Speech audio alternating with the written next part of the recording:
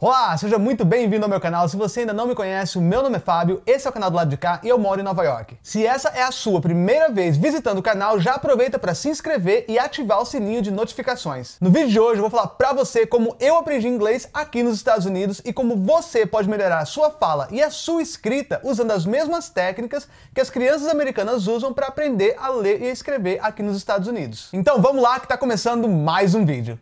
You are the sunshine in my life.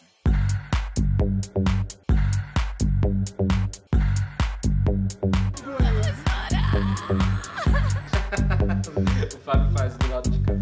Eu cheguei nos Estados Unidos há 17 anos atrás com um inglês bem básico. Eu conseguia ler, eu sabia escrever, mas eu tinha muita dificuldade em entender quando o americano falava comigo ou quando eu tentava falar com alguém. No meu caso, eu tive que me reinventar para poder aprender inglês depois de velho, mas meio que funcionou para mim. Antes de passar para você todos os meus segredos de como eu aprendi inglês aqui nos Estados Unidos, eu vou pedir para você assistir esse vídeo até o final, porque no final desse vídeo eu vou te explicar como você pode se cadastrar para receber os meus vídeos de pronúncia e vocabulário de graça. Então, vamos lá. A primeira das três coisas que ajudaram o meu inglês a melhorar pra caramba foi assistir televisão. Mas no meu caso não foi série como todo mundo fala por aí. Sabe por quê? Porque séries são voltadas para um público adulto, com vocabulário adulto, com trama adulta. Então fica um pouco difícil para você tentar aprender e assimilar o que está acontecendo. Você até acaba treinando seu ouvido, mas não necessariamente melhorando seu vocabulário. Eu assistia desenhos animados, muitos, todos, todos os desenhos animados. Porque desenhos animados têm um vocabulário mais básico para criança e as tramas são muito mais simples. E tem um outro detalhe: desenhos animados são muito repetitivos, então a palavra acaba grudando na sua mente, pior que música do Pablo Vittar. E tem outra, canais para crianças, tem comerciais para crianças que são desenvolvidos com palavras simples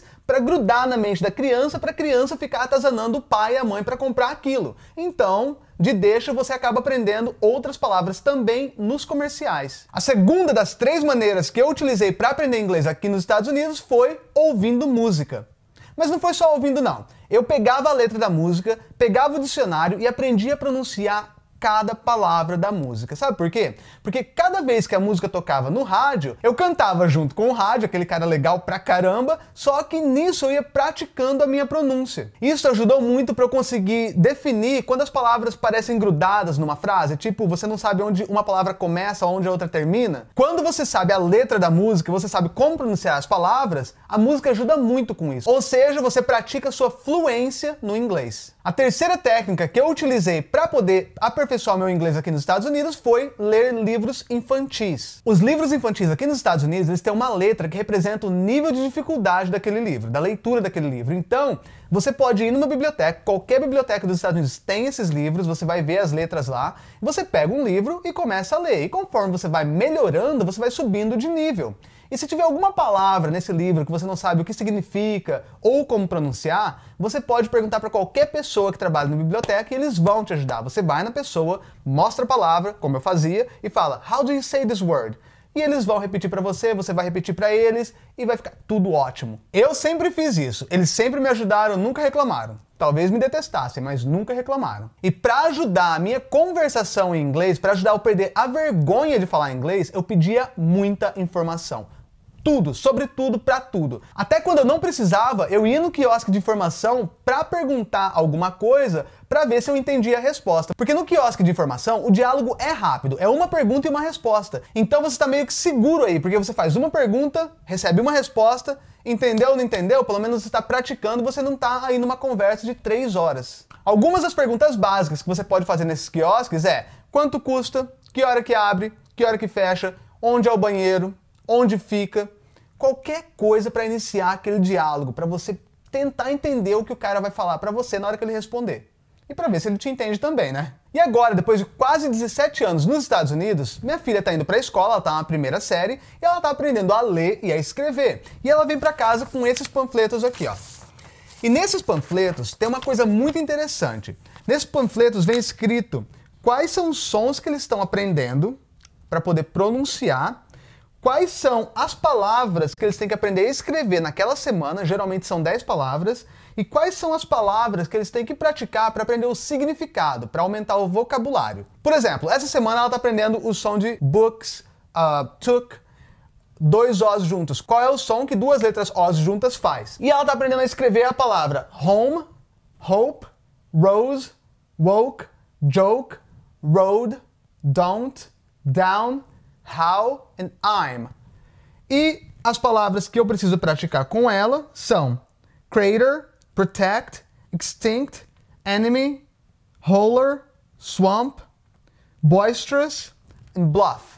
Essa é a técnica que os americanos usam para poder ensinar as crianças a ler e escrever. 10 palavras por semana para eles aprenderem a ler algumas palavras para eles aprenderem o que significa, para eles ouvirem e saber o que significa, mas eles não precisam aprender a ler ou escrever essas palavras, eles só precisam saber o que é, e um som para eles poderem começar a perceber esse som em algumas palavras, tá?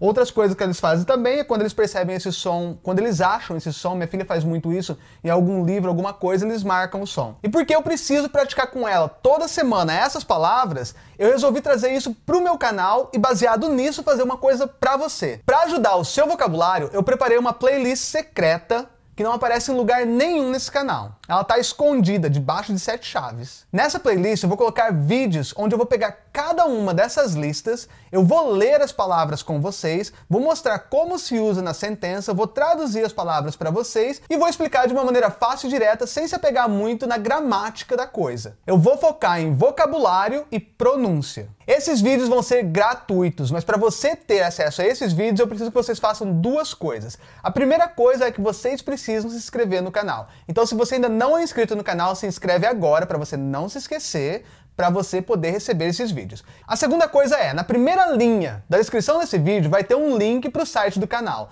Lá você vai poder se cadastrar para poder receber o link desses vídeos no seu e-mail. Lá você vai colocar o seu nome, seu sobrenome e o seu e-mail. E como esses vídeos não são publicados aqui no canal, você vai receber toda semana no e-mail que você colocar lá o link para você poder assistir esses vídeos. Ou seja, esses vídeos vão ser exclusivos para quem for inscrito no canal, porque o sistema vai checar se você é inscrito ou não, e quem for cadastrado naquele banco de dados. Então, se você quiser aperfeiçoar o seu vocabulário e a sua pronúncia, se inscreva no canal, vai lá se cadastra na lista. Eu vou ficando por aqui. Muito obrigado por assistir. Até o próximo vídeo. Tchau!